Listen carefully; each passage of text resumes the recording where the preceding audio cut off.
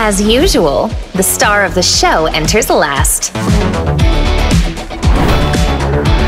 Introducing the Tactical Intercept Type Auto Navigator, the Titan unit.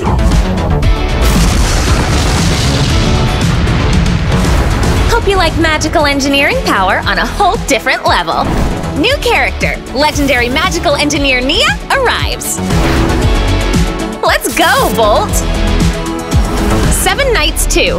Download now.